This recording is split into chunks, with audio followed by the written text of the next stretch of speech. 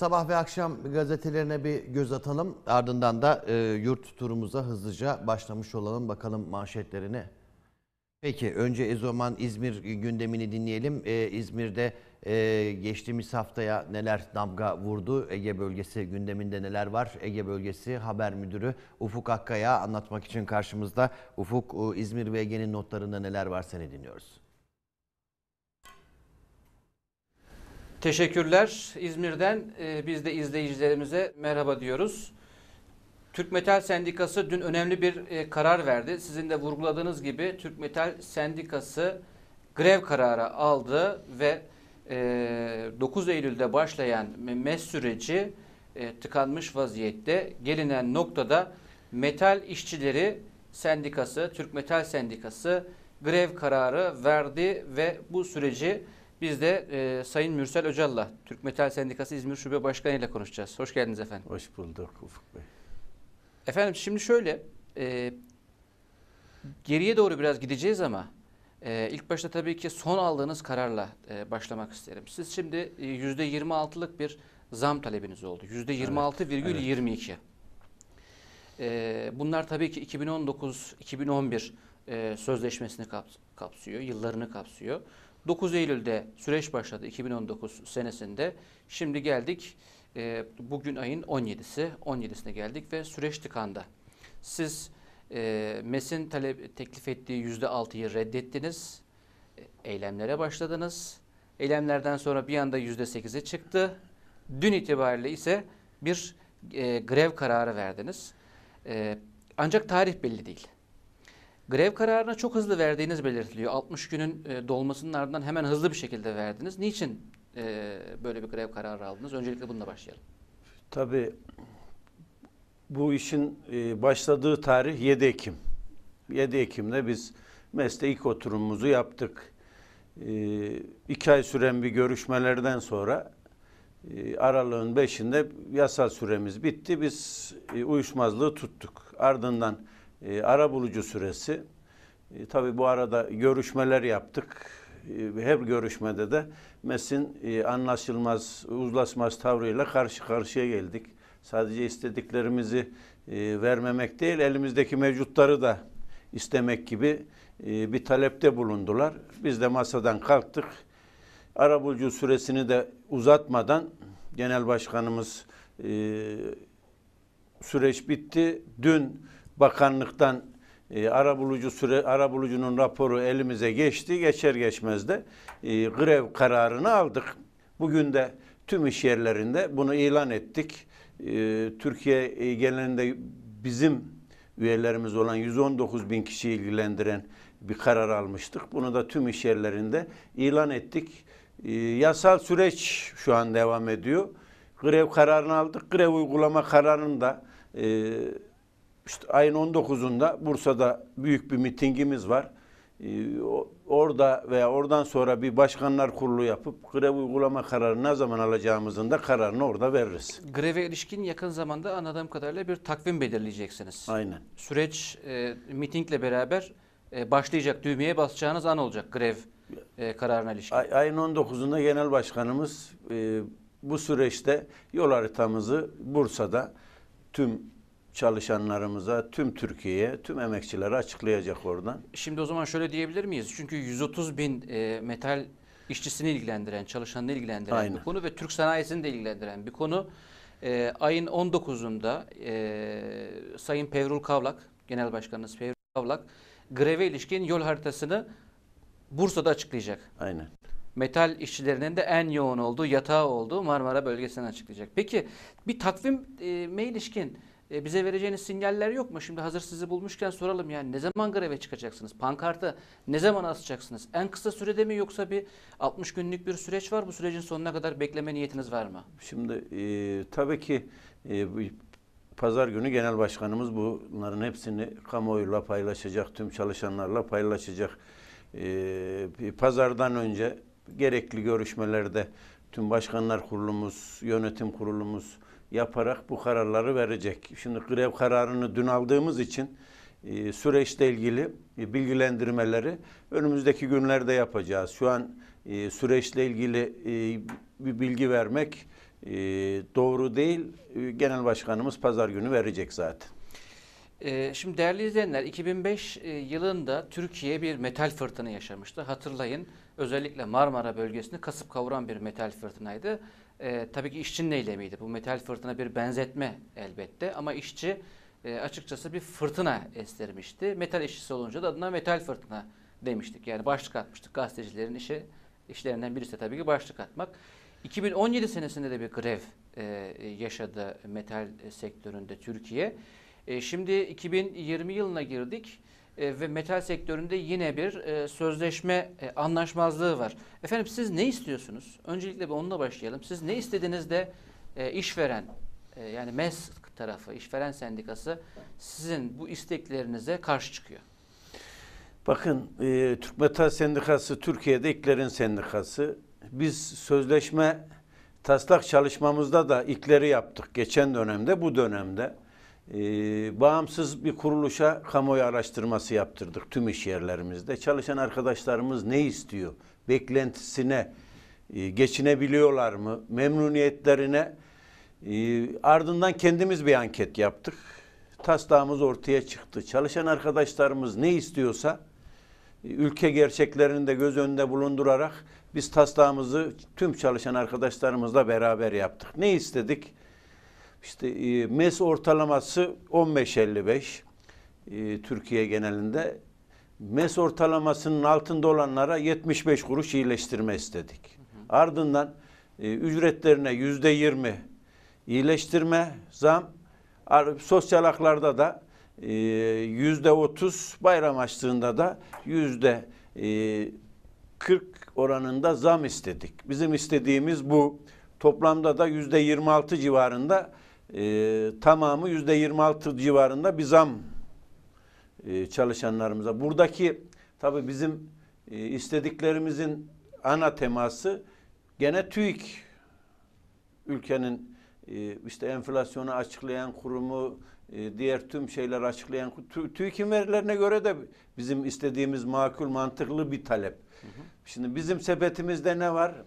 E, Yiyecek var, giyecek var, doğal gaz var, elektrik var, ev kirası var, ulaşım var. Bunlara gelen zamlar, bizim çalışanlarımızı ilgilendiren ana etkenler bunlar. Bunlara gelen zamlar da bu oranda olduğunu düşündüğümüz için, çalışanlarımız da bunu istediğimiz istediği için biz bunlar istedik. Tabii ki e, 6 aylık enflasyon e, yüzde altı denmesine rağmen bize göre bizim enflasyonumuz onun olmadığını başta genel başkanımız olmak üzere hepimiz her platformda dile getirdik. Bugün de bunu açık açık söylemek istiyorum. Peki MES ne verdi? O görüşmelerde e, teklifi nasıldı? Şimdi MES e, ilk teklifi yüzde altı. Sosyal haklarda da yüzde on beş. Yani e, yıllık enflasyonla altı aylık enflasyonu teklif etti. Ya verdiğinin dışında istedikleri de var MES'in. İkramiyeler kıstelyem uygulansın diyor. Çalıştığı gün sayısı kadar verilsin diyor. Esnek çalışmayı istiyor. Emanet çalışmayı istiyor. Denkleştirmeyi istiyor. Yani istiyor da istiyor işveren.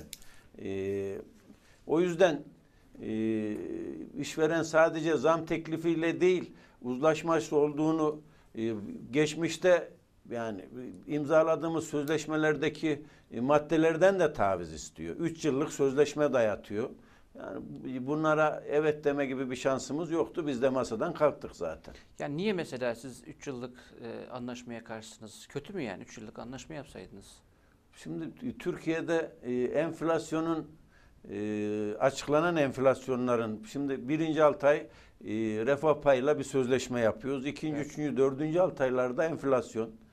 Şimdi e, Türkiye'de açıklanan bugün işte yüzde altı açıklanan enflasyonun doğru bir enflasyon olmadığını söylerken üçüncü yılda da gene enflasyonla bir sözleşme imzalamak çalışan arkadaşlarımızı mağdur ettiği için kabul etmiyoruz. Anladım. Şimdi peki esnek çalışma diyorsunuz efendim. Metal iş kolunda esnek çalışma nasıl olacak? Ee, yani bunu siz öngörebiliyor musunuz? Yani nedir bu esnek çalışma? Nasıl ya- yaşanacak metal kolunda esnek çalışma? Tabii şimdi e, Ve esnek- esnek çalışmaya niye karşısınız tabii ki? Şimdi esnek çalışmaya niye karşıyız? Şimdi aynı e, geçmişte e, hatırlarsanız e, inşaat işlerinde çalışacak arkadaşlarımız bir yerde beklerdi. E, oradan e, gelirlerdi, seçerlerdi. Oradan çalışan arkadaşlarımız çok ucuz fiyatta e, iş yerlerinde, inşaatlarda, şeylerde çalıştırırlardı. Şimdi bunların önü açıldığı zaman esnek çalışma, emanet çalışma, denkleştirme, e, çalışanın beklentilerini karşılayamadı, karşılamadığı gibi bir sürü hak kayıplarına da sebep vereceği için karşıyız biz. Ee, Daha e, iş yeri değişikliği yapıp başka işlerde çalış, çalıştırabilecekleri için karşı çıkıyoruz biz.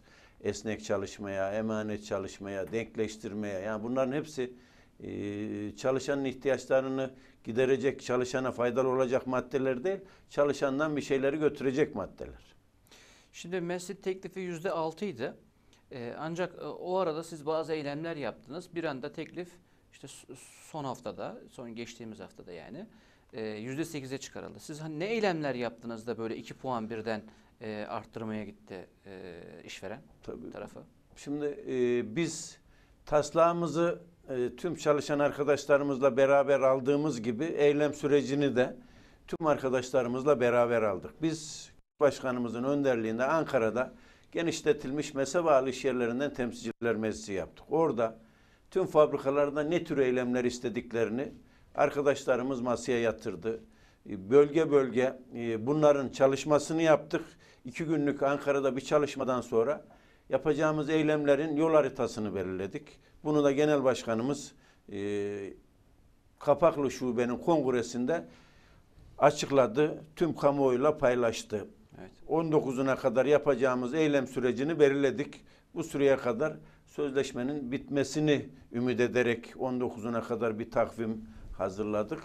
Neydi? İşte iş yerlerinde çatal kaşık vurmayla başladık. Servislerden inip protestolar yaptık.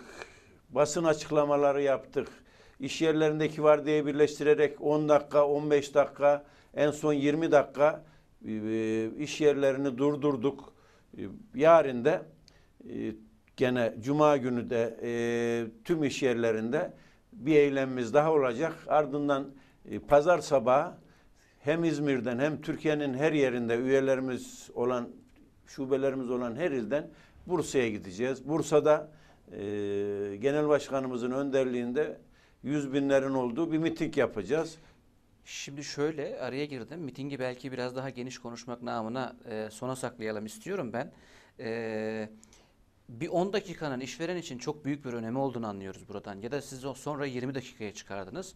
Belki de benim bu görüşüm, tahminim daha doğrusu 19'undan sonra e, bu 20 dakikanın süresi de uzayabilir diye anlıyorum. Doğru mu anlıyorum? Tabii şimdi arkadaşlarımızın fikirlerini sor, aynı gene soracağız. Gene eylemde neler istiyorlarsa onları yapacağız. Arkadaşlarımız daha sert, duruşların daha çok olduğu eylemler diyorsa yönetim kurulu, başkanlar kurulumuz toplantı yapıp orada o kararları da üyelerimiz ne istiyorsa o kararların hepsini alacağımızdan hiç kimsenin şüphesi olmasın.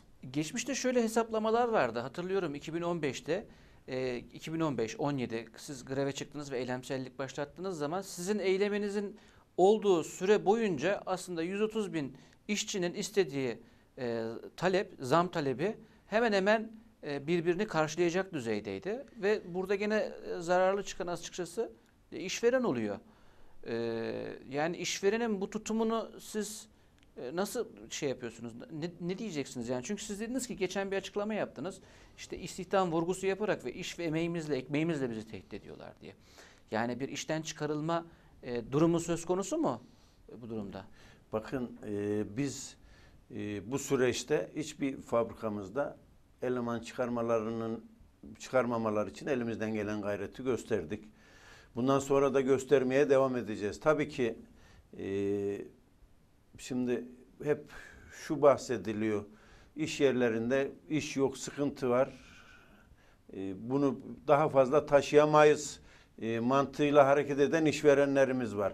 Ama biz biliyoruz ki 2020 yılı e, işle ilgili çok fazla sıkıntımızın olmadığı, iş yerlerinin e, işinin olduğunu, devamlılığının olduğunu biz de gidiyoruz iş yerlerine. Bunların hepsini görüyoruz.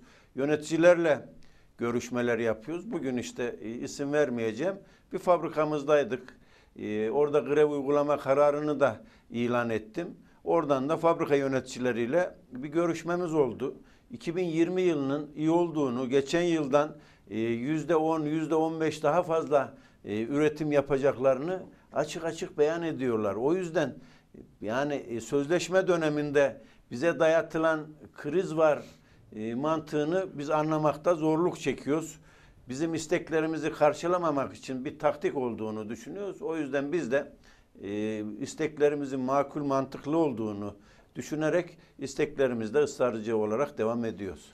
E, Türk Metal Sendikası'nın örgütlü olduğu e, fabrikalara baktığımız zaman siz de bunu vurguluyorsunuz sık sık. Sendika olarak üretim, karlılık ve verimlilik rekorlarında e, bir numaralara yerleşen ve kalite ödülleri de alan yerler değil mi? Öyle değil mi?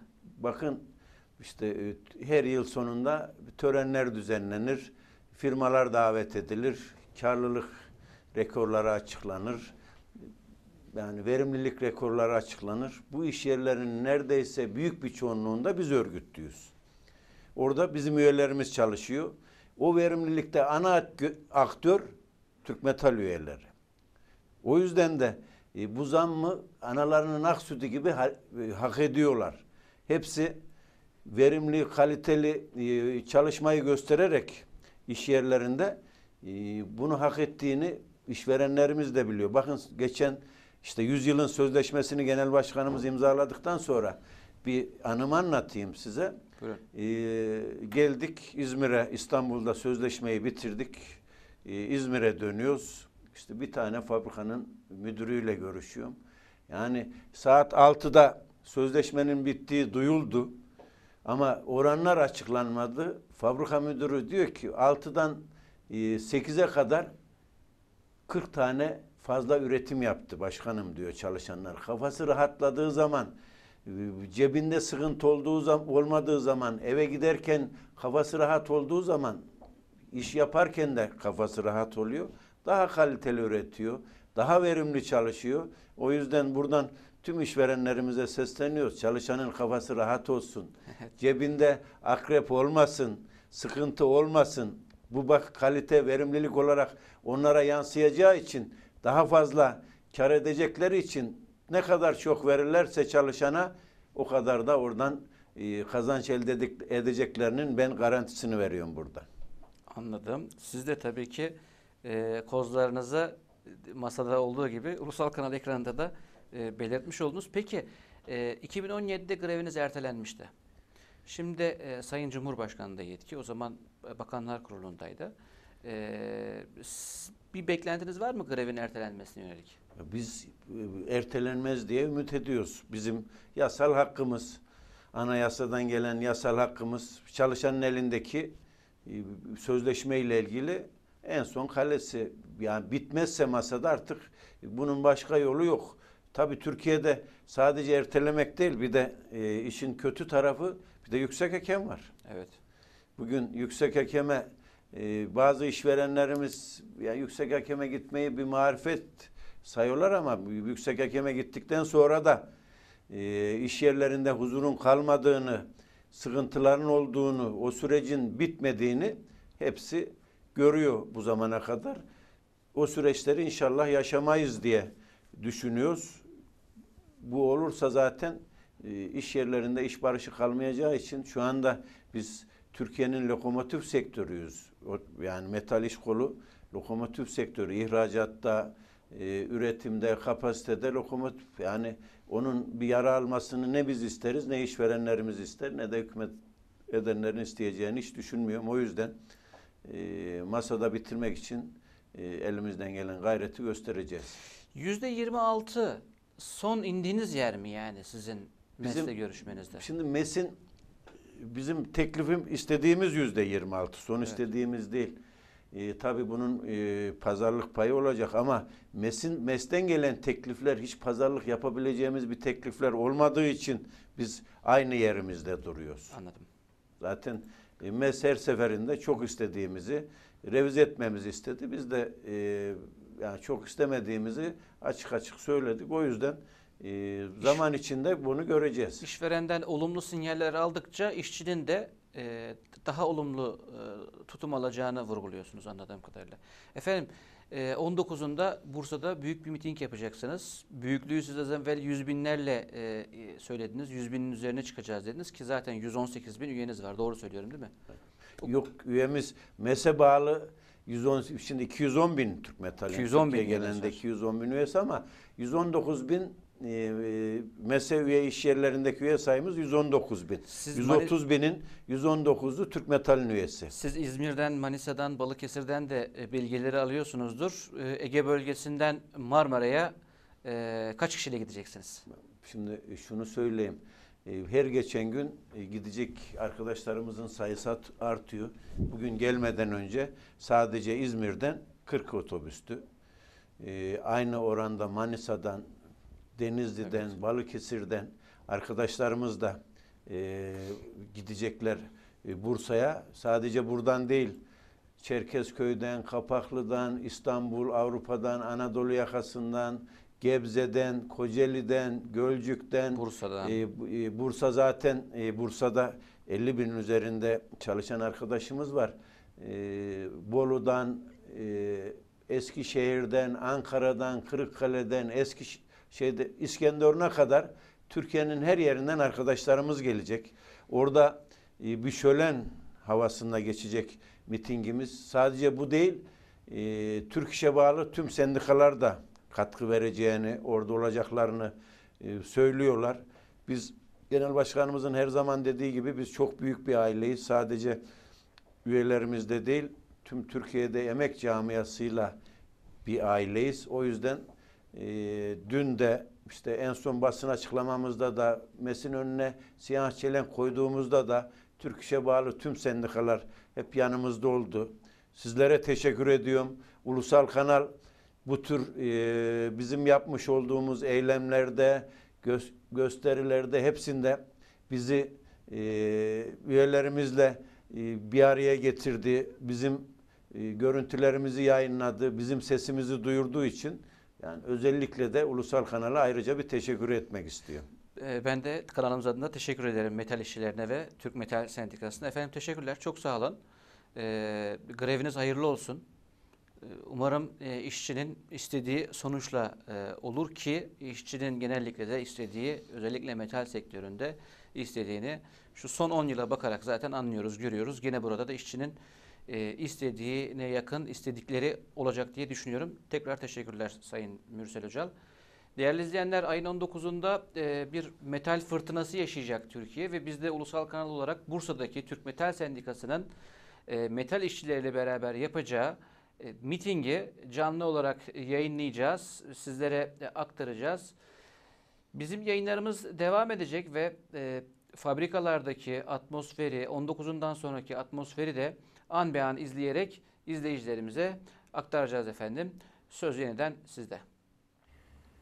Ufuk Akkaya'ya teşekkür ediyoruz. İzmir Haber Müdürü Ufuk Akkaya ve konuğu Türk Metal Sendikası İzmir Şube Başkanı Mürsel Öcal'dı. Metal Fırtına 19'undaki ve emek kesiminin mücadele sürecine ilişkinde e, önemli mesajlarıyla İzmir e, gündemi aslında e, metal gündemi e, oldu diyelim. E, bu metal gündeminin notlarını yayınımızda paylaşmış oldular. Emek kesimiyle